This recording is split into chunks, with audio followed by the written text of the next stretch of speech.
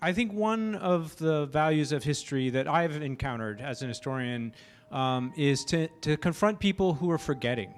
Um, I think if you see people forgetting things, you should be very suspicious because they usually have a reason to forget things. It's usually not accidental.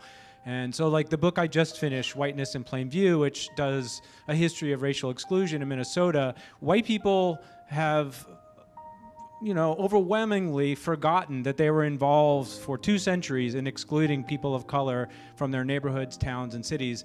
And that's not an accident. They do that on purpose to absolve themselves of uh, responsibility for doing something about it, and also simply to claim that that's just not what happened, right? And they can sort of move through their lives as if this was all just an accident or it happened some other way other than their own doing or other generations before them.